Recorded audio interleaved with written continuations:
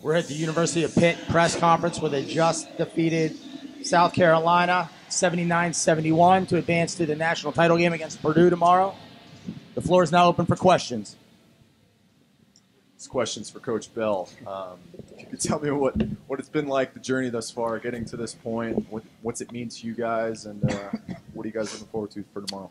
Yeah, I mean, uh, up until this point, it, I'm surprised I'm not in cardiac arrest um, between yesterday and today. Um, you know, yesterday kind of being a one-point game, and today it seeming like another one-point game. Um, so getting to this point has definitely been stressful. Um, but you know, at, at, the end of the day, I count on these guys, and I know these guys are talented enough to pull out the victory, and they did again. So it's pretty awesome. I got one for, for Joe. Uh, Joe, you followed the last game. Um, you had 20 points today. You dropped 25 points. What you see in South Carolina's defense tonight that, that was that you were able to, to take advantage of? Um, they just couldn't cover me. I mean, they're putting. it's simple, man. Great answer.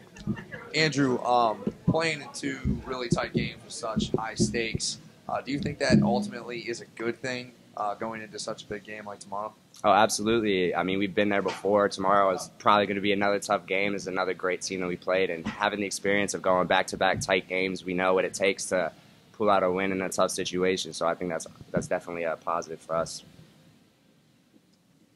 For Joe, um, late in the game, uh, Anthony went to the line with an opportunity to hit two free throws on a one-and-one to make a two-score game. And uh, I overheard you uh, speaking to the bench about yeah, no chance he misses these. Uh, what's it mean to you as a teammate uh, of Anthony, knowing that he's got that ice in his veins, where with the game on the line, the season on the line, a national championship on the line, you have you know the faith in him, you know, to do it for your team. Yeah, I mean, I know he's as you saw yesterday, he's one of the clutchest players I know. And I told him before he shot those two free throws when we were inbound, I told him, dude, go get the ball. You have a better shot at hitting these than I do. Even though he didn't have that. I mean, he had started a good game, but I knew he would hit those, knock down those two free throws.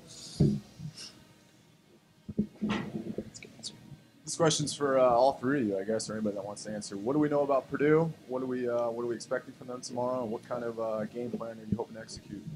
Yeah, so we we came and saw Purdue. We saw them about the last second half of the second half of their game.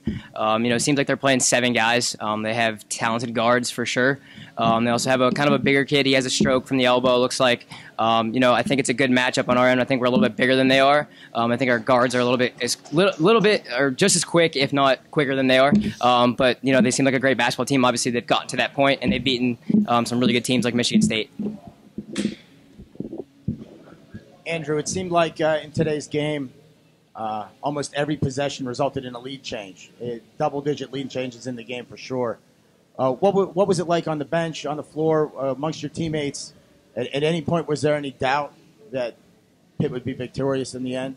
It's a lot of fun playing in a game like that, going back and forth. Uh, it brought a lot of energy to us, and the bench had energy the whole time. Yesterday, we kind of lacked a little bit of energy, and that's why we got down early.